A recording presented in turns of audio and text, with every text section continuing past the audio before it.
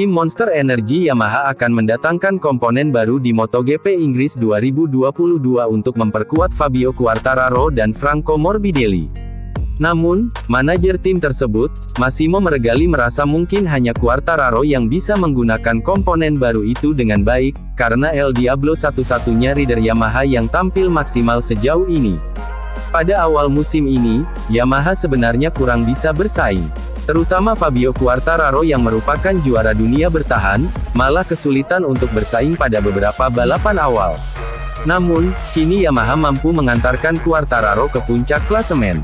Dia berada di atas tabel dengan poin 172, atau unggul 21 angka atas pesaing terdekatnya, Alex Espargaro.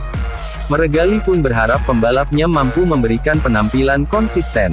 Dari Yamaha sendiri bertekad untuk memberikan bantuan maksimal kepada kedua pembalapnya.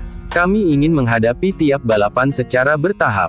Tetapi, tujuan kami selalu sama, yaitu menjadi konsisten, dan memperlakukan setiap balapan dengan setara, kata Meregali.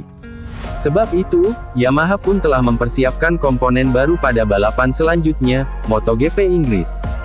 Hal itu diharapkan dapat membantu performa yang lebih baik. Hanya saja, Meregali menyayangkan hanya Quartararo yang saat ini dapat tampil maksimal. Hal itu menyusul hasil minor yang didapatkan rekan satu timnya, Franco Morbidelli. Bayangkan saja, pada paruh pertama MotoGP 2022, rider asal Italia itu hanya mampu mencatatkan 25 poin saja. Jelas, angka tersebut sangatlah memalukan bagi Yamaha sehingga dia kritik habis-habisan oleh para pengamat balap. Kami berharap membawa sesuatu yang baru untuk di Silverstone.